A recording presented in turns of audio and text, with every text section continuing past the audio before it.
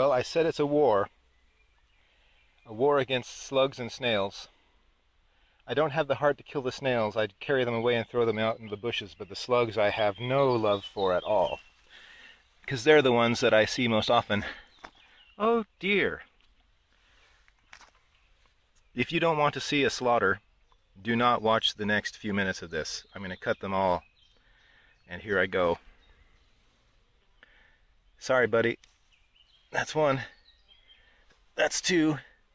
That's three. That's four. That's five. Five dead slugs. And guess what? I'm going to flip them up on the mound because slugs eat other dead slugs. And they'll eat each other instead of eating my plants. And now reset the trap. Next, here's another after yesterday's dig, I have a lot of dirt here. Let's see what's under here. Oh, only one. Well, the war continues. Sorry, buddy, you're a casualty of war. Because you know what you did. Yes, you do. You know what you did.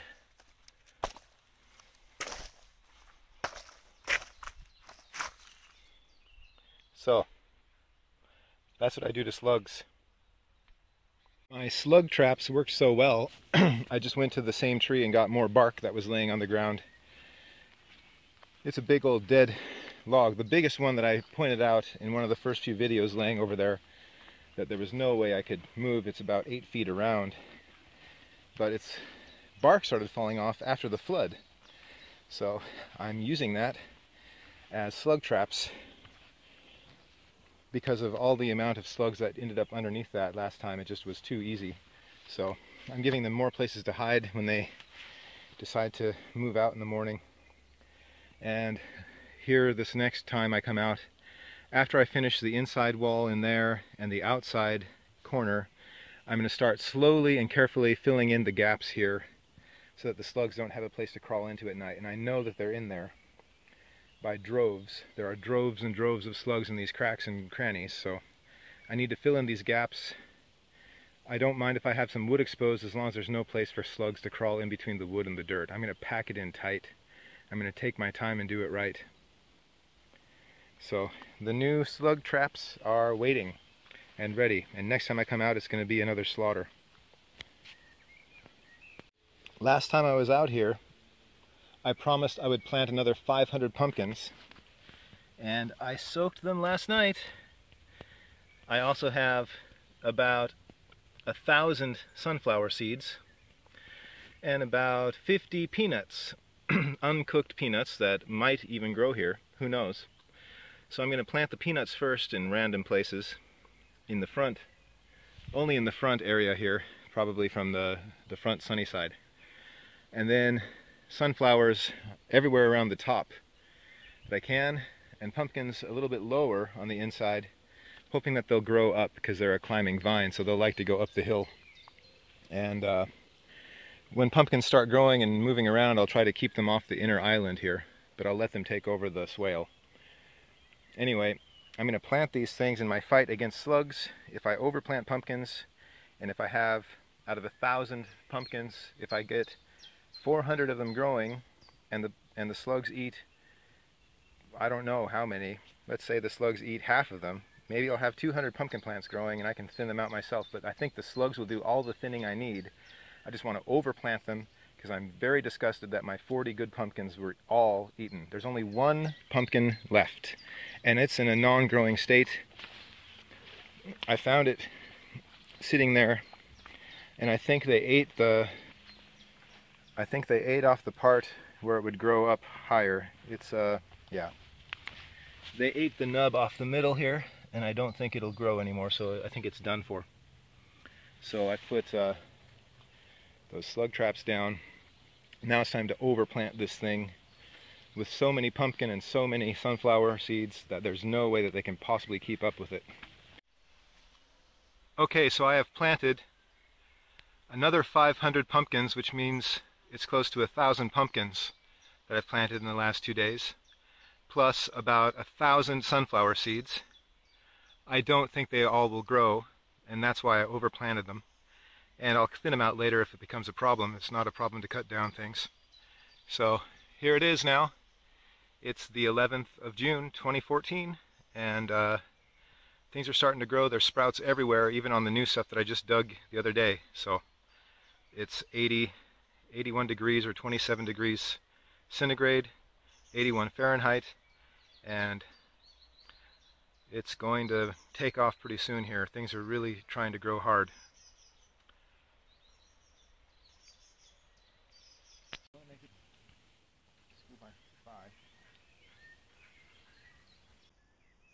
It is June 15th, Sunday morning, it's just past 7 o'clock. I come out on my preliminary hunt for slugs and I've I've got 1, 2, 3, 4, 5, 6, 7, 8, 9, 10, 11, 12 slugs and one snail.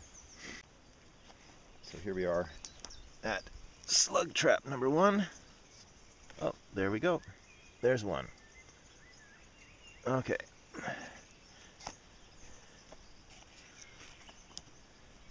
Slug trap number two.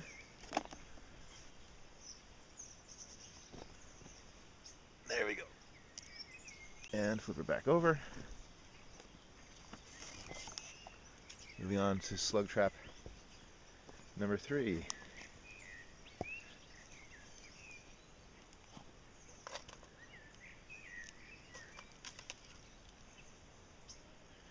One of those little tiny snails as well. Where did he go? One second. There's a slug right there as well. A moment. I hate these things. Okay, flipping that one back over.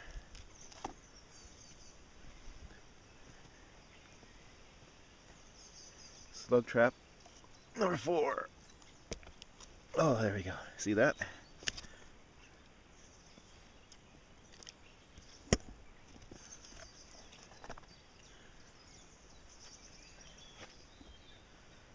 Slug track. Slug trap. Slug track. Slug trap number five produces as well. Okay.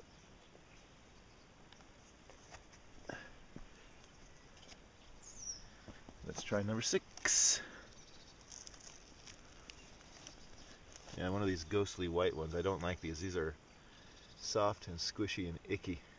I don't really like them. They're nasty.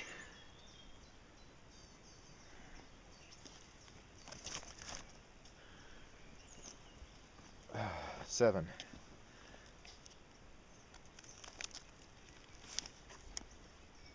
Oh, there's a tiny baby. Look at this little tiny, tiny slug. Just a tiny baby slug.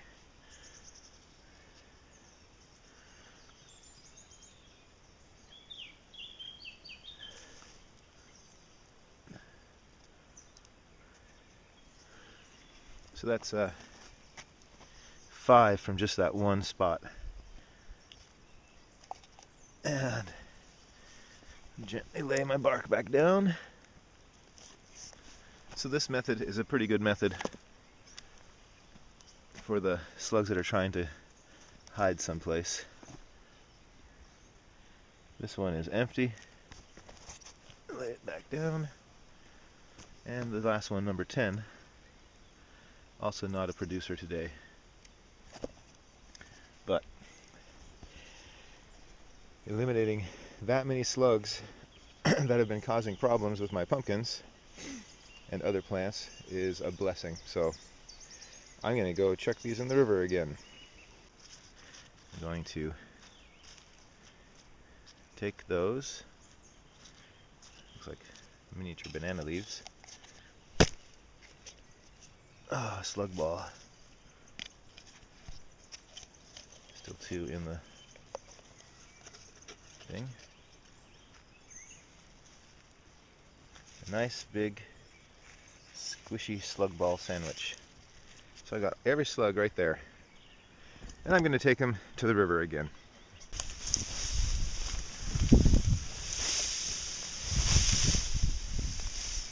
That's close enough. You can see that peanut there.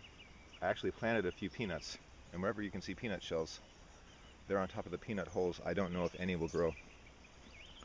Here is, just in about five days' time, the difference between the horseradish from last time, those little sprouts, and now. And it's really, really doing well. I, I see the slugs also tried to eat a lot of it, but it's growing so fast the slugs can't keep up with it. Plus, I think I just threw 20 or 30 of those slugs right in the river just now, so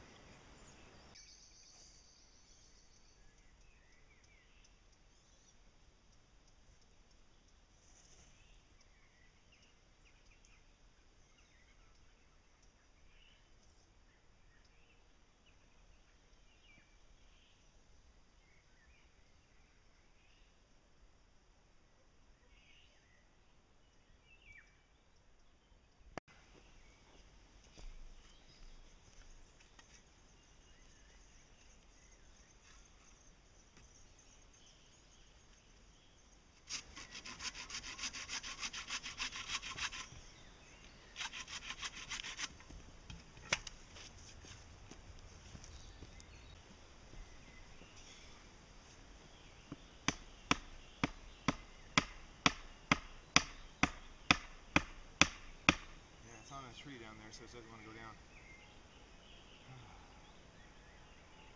the other side.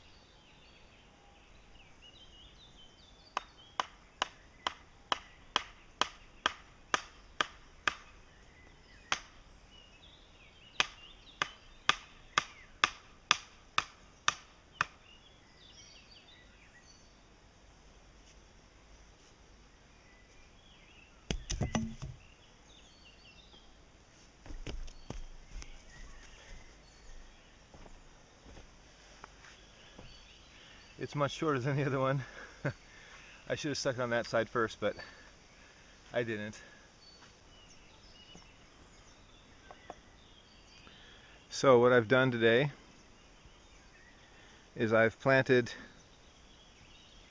probably about a thousand, and I'm not kidding again, about a thousand uh, legumes. These ones are Mediterranean lupine, they're a yellow flowered one, not a blue or purple one. On the outside, I really quickly went around the whole outside with the butcher knife, used it like a scythe, and hacked out the edge here so that uh, you can see there's a definition between where the edge of the swale is and the stuff standing up. I cut that all down and threw big chunks of it here as mulch right on the mound itself one cool thing. Underneath this I found uh, the first topinambur or rather Jerusalem artichoke sprout coming up. So I covered and protected it. Hopefully it will grow.